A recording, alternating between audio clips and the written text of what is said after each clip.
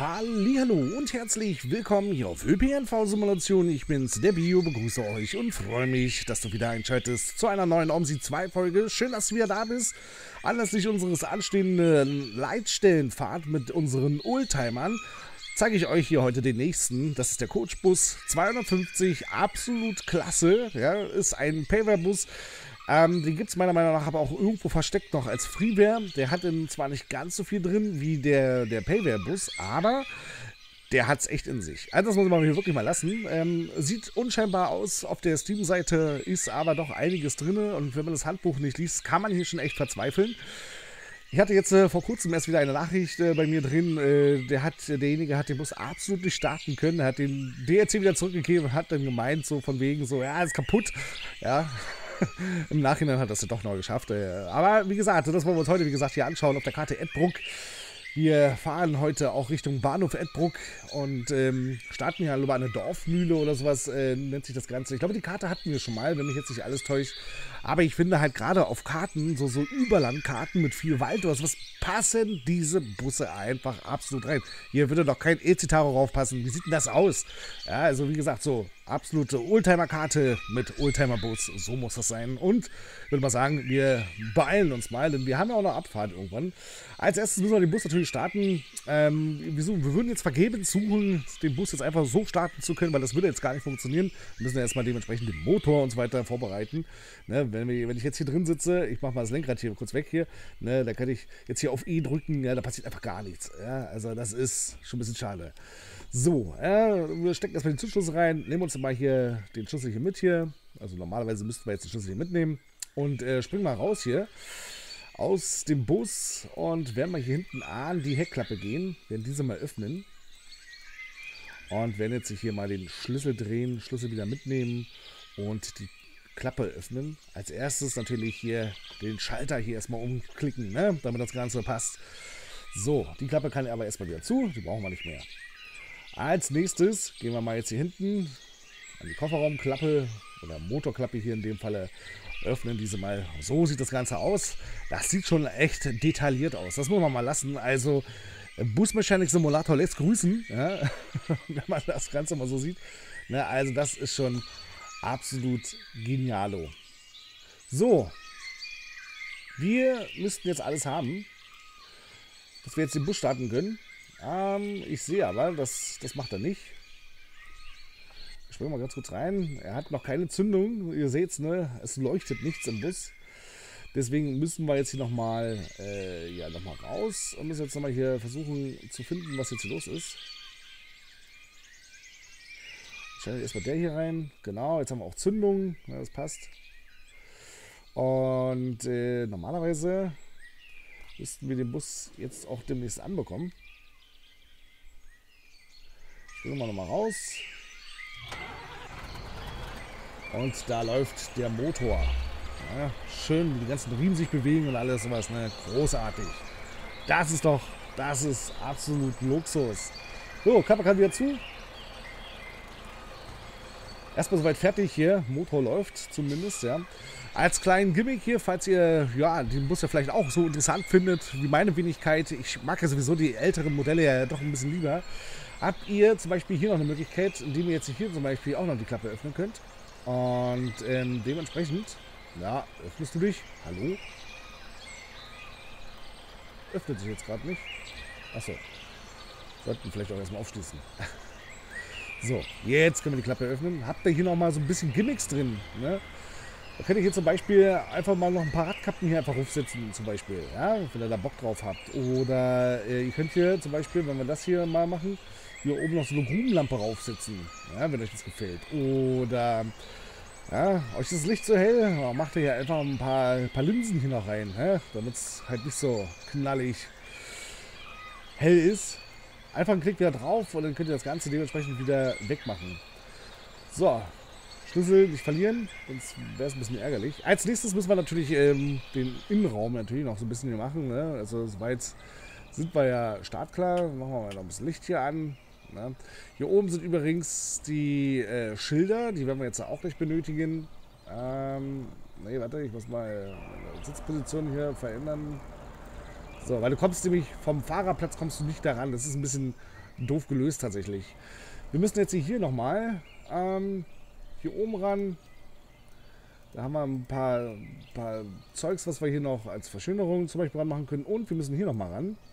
Denn hier finden wir nämlich alles weitere, was wir jetzt äh, gleich benötigen.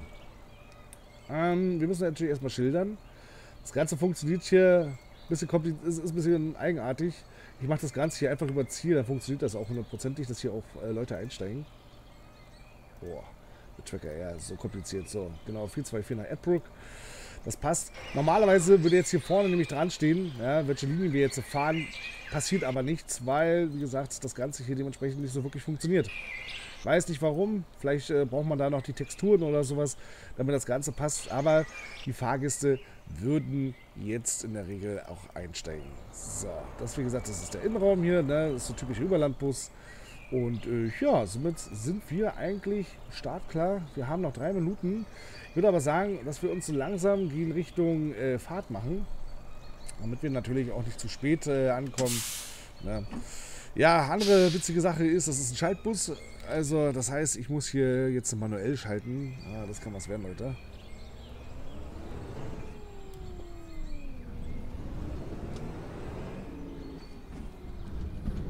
So, Streldorf, erster Start hier. Ansagen haben wir natürlich hier nicht hier in dem Bus. Aber ich denke mal, damit kommen wir klar.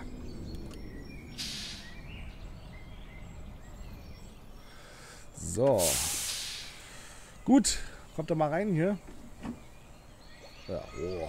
Erstmal Druckluft hier, erstmal aufbauen hier in den Bus hier. Haben natürlich hier den gleich durchgepustet hier, damit er hier natürlich startet. Ja, Fahrt wird um, um die 20 Minuten dauern. Das ist ein bisschen stickig hier drin. Guck mal, mal kurz auf hier. Ja, bei so einem Alter kann es natürlich mal sein, dass das ein bisschen stinkt. Ähm, es gab, wo ich den damals Let's Played hatte, den Bus, gab es da noch so ein kleines Problem. Ich weiß nicht, ob sie das mittlerweile gefixt haben. Ähm, die Fahrgäste steigen permanent vorne aus. Also wir können hinten die Tür aufmachen. Es würde hinten aber keiner aussteigen, weil sie ja schon automatisch alle nach vorne laufen würden. Das ist ein bisschen ärgerlich. Weiß nicht, ähm, ob das jetzt äh, mittlerweile gefixt worden ist. Werden wir jetzt ja gleich sehen. So. Ja, sind wir jetzt bei 7 Minuten, stehen an der ersten Haltestelle. Besser kannst du aktuell nicht laufen. Ja, wir ähm, hatte schon erwähnt, dass es den als Solo und als Gelenkbus gibt. Das Problem ist, was ich ein bisschen schade finde, ist, dass das ähm, ja nicht automatisch denn, äh, eine Vergünstigung gibt oder sowas, wenn ihr den einen DLC habt, der andere kostet dann nochmal. Also es ist ein bisschen schade. Da könnte man auf jeden Fall man noch mal ein bisschen spendabler sein können. Hier zum Beispiel können wir die Türen auch öffnen, ne? Über den Schalter hier. Also wer es halt richtig realistisch mag, ne, der springt nicht einfach rein und ist dann drinnen. Nein, der drückt erstmal den Knopf, damit die Tür erstmal öffnet und, und so weiter und so fort halt, ne? So, gut. Ich würde sagen, Tür zu, ab geht er.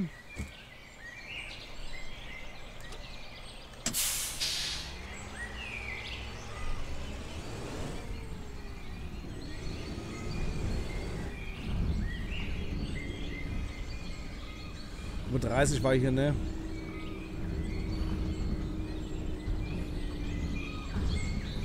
Wie gesagt, also auf so eine Karte passt einfach kein E-Citaro. Da kannst du mir sagen, was du willst, wirklich.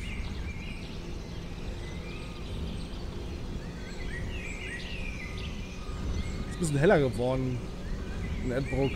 Ist nicht mehr ganz so. Sieht nicht mehr ganz so nach Regen aus.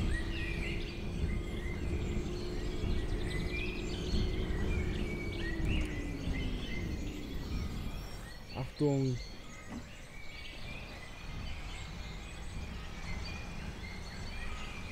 man fährt schon ein bisschen anders.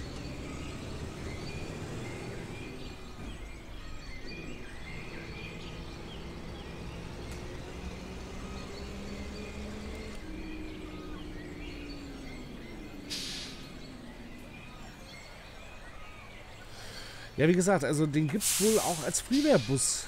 Hatte ich mal damals in den Kommentaren gelesen gehabt. Guten Tag. Hallo. Guten Tag. Hallo. Hallo. Guten Tag. Hallo. Grüß dich, Manfred. Oh, mit Brille. Stylische Sonnenbrille hat der Manfred aufgehabt.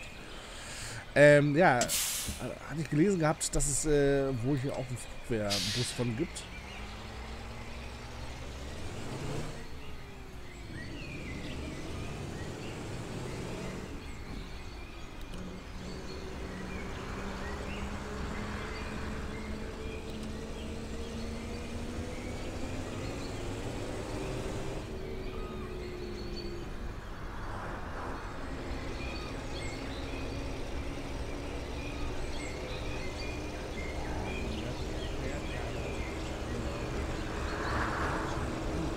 Wird wieder nur am Tuttern. Ich weiß auch nicht, was jetzt gerade los ist hier. Ach stimmt, das war ja auch noch. Da durftest du nicht voll durchtreten. Das mochte der Bus überhaupt nicht.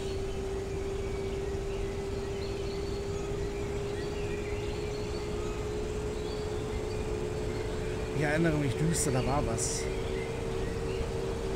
Da fing das Spiel nämlich an zu ruckeln. Und der Bus, der ist dann total ausgeflippt.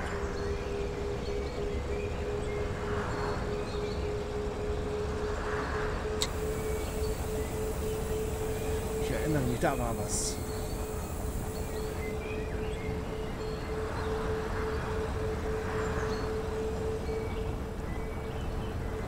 Ja, guck mal. Bitte, die kommt immer noch nach vorne.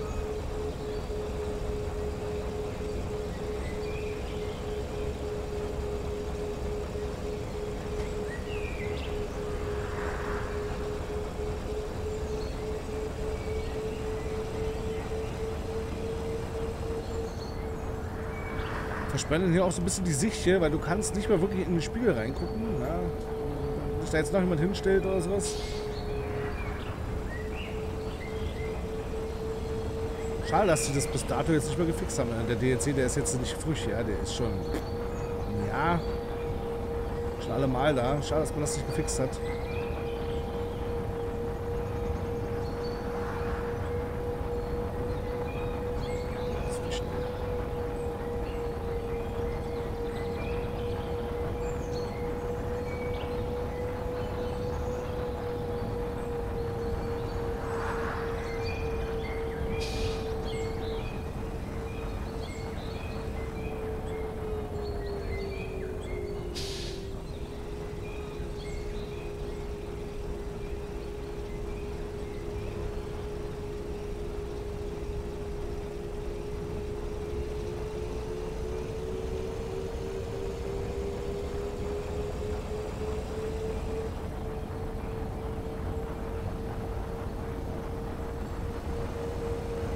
Läuft doch gerade schon wieder ein bisschen die Zeit hier ab.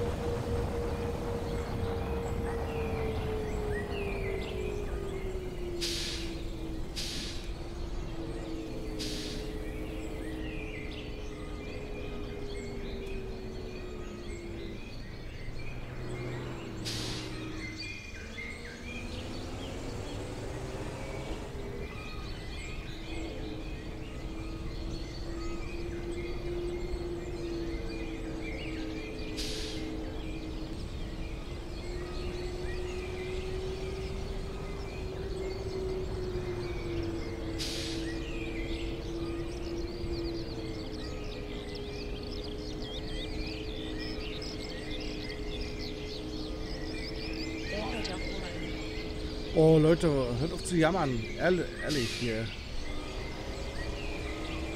Ich muss ja nur mal hier die Kurve fahren. Wenn es hier nur so eine Kurven sind, kann es ja nicht ändern. Und ich werde hier bestimmt nicht mit 20 hier rumkrauchen.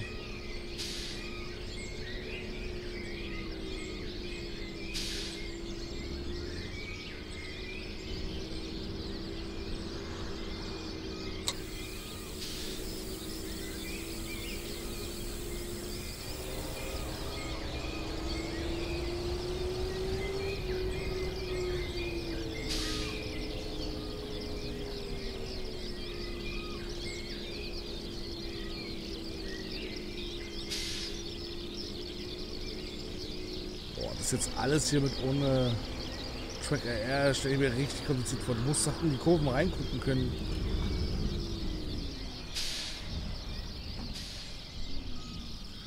Also die ganze Zeit dann mit irgendwie mit Dings zu arbeiten, mit Maus und Lenkrad und so weiter und so fort oder mit den Tasten halt, dass du dich halt umgucken kannst. Ich will jetzt mega kompliziert vorstellen. So, Puh. Ich hoffe, ihr könnt mich auch hören übrigens. Ne? Also ich weiß jetzt nicht, ob jetzt der Omsi jetzt wieder mal zu laut ist oder sowas, aber das wird schon passen.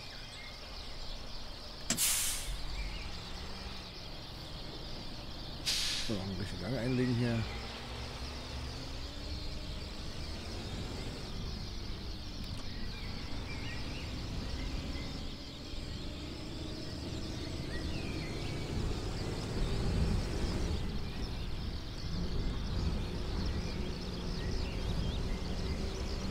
Mit 30 geht es wieder hoch.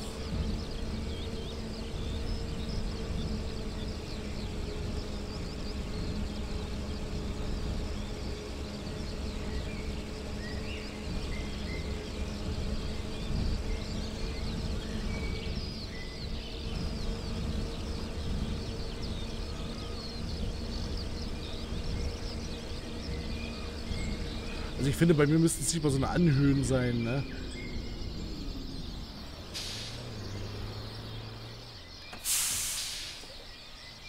Könnte ich mir auch sparen, ne? Also wenn es dann halt einfach nur so klassisch einfach gerade zugeht oder sowas, also halt alles eben ist, ne? Aber so an sich muss ich sagen, ist die Karte schon extrem gut. Oh, Extreme Clasher ist hinter uns. Ja, fährt hier wohl auch gerade.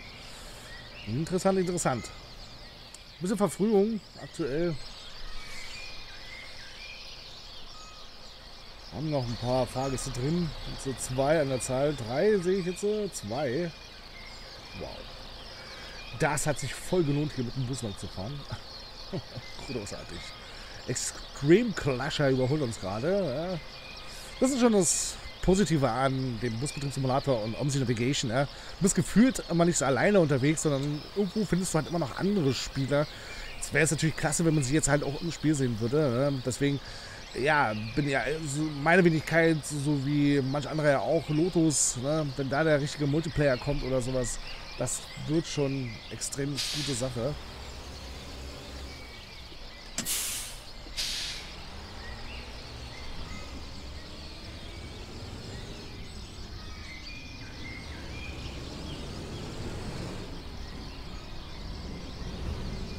Der Bus fährt sich wirklich großartig, ja. Wollte ich nur mal betonen. Ist halt, wie gesagt, echt doof. Aber ich glaube, den gibt es sogar als Automatikfahrzeug, wenn nicht alles. Da gibt es eine Mod für. Und dann könnt ihr den sogar als Automatikfahrzeug fahren. Aber als Schaltwagen geht das auch vollkommen in Ordnung.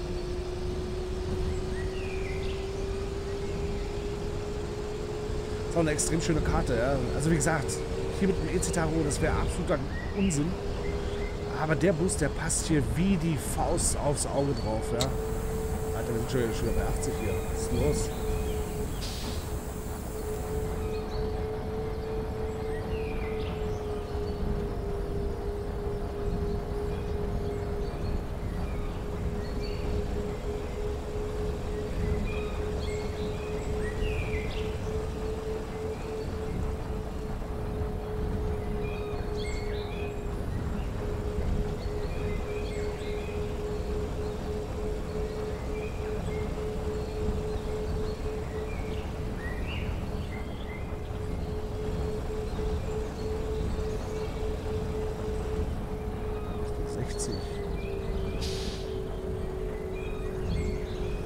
60 ist hier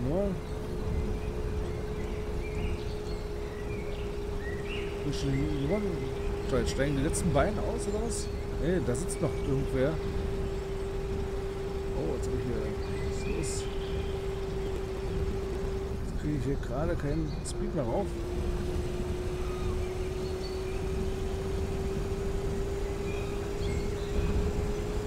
runterschalten, dann passt das.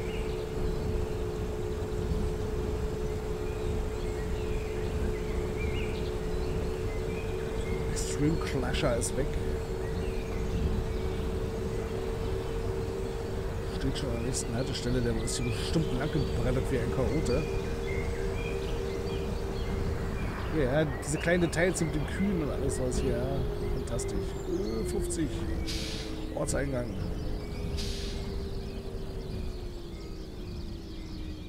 Kupplung treten, abbremsen. Uah. Wollen es natürlich auch nicht zu hart bremsen jetzt. Äh? Fantastisch. Grüß miteinander. Wie sieht's aus? Wir haben Abfahrt. können abfahren. Wundervoll.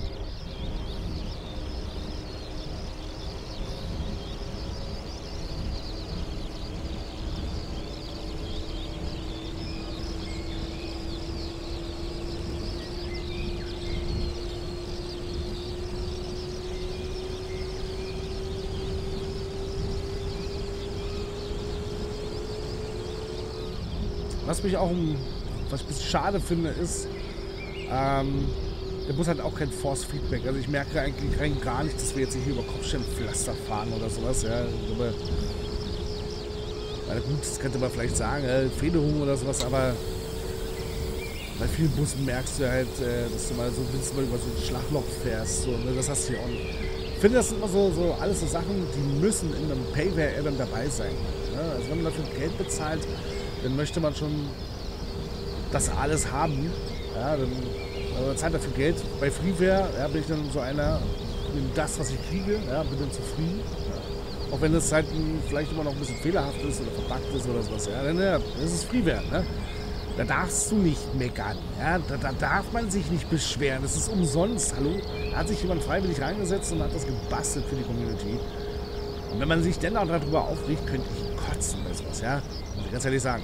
Ähm, beim Payware sieht es aber anders aus. Da stelle ich dann auch Anforderungen. Und äh, das ist hier zum Teil leider, wie gesagt, ähm, ich bin auch der Meinung, ich weiß gar nicht, ob es hier mal irgendwann mal noch einen Patch gab oder sowas für den Code Spaß 250.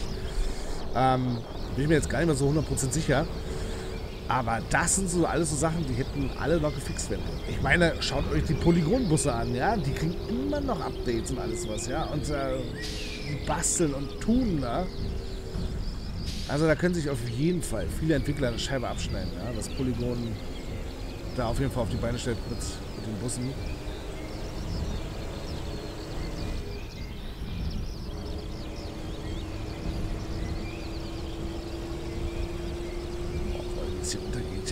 Fantastisch. Die Karte ist großartig. Das ist so eine richtig schöne Überlandkarte, ja.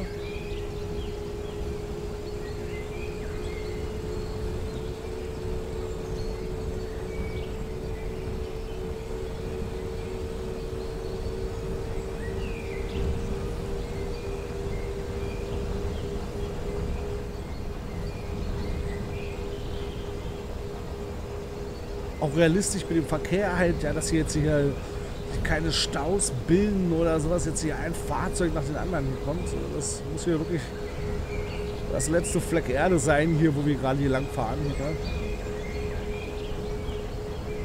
Wahrscheinlich hinter uns wahrscheinlich Dead End ist.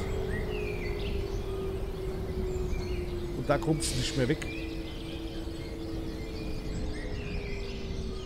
Zum Sportverein hier. 30 nur noch. Das ist auch cool hier mit, mit der Wassermühle hier. Schön. Schön, schön. So. Alles einsteigen, aussteigen, bitte. Ich habe einfach anderthalb Minuten jetzt hier plus hier. Das werde ich jetzt aber leider überspringen, Leute. Da werde ich jetzt die Zeit jetzt hier nicht abwarten. Unsere Zeit ist kostbar, wisst ihr. Meine und euch. Auch eure Zeit, ne? Da wollen wir das natürlich hier nicht alles in die Länge ziehen hier.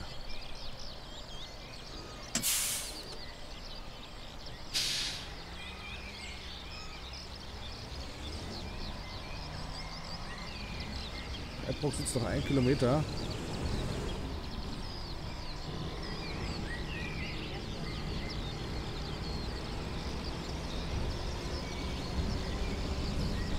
War jetzt nicht zu früh geschaltet. Komm,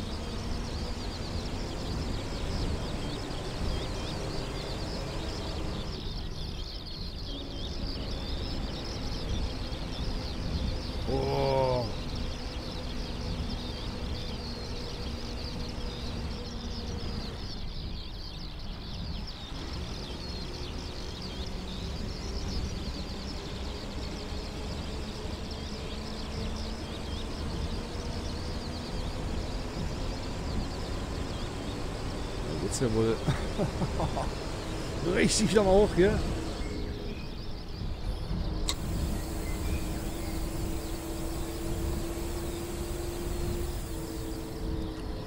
So geht's zum Bahnhof. Was soll ich sagen, Leute? Unsere Fahrt endet dort.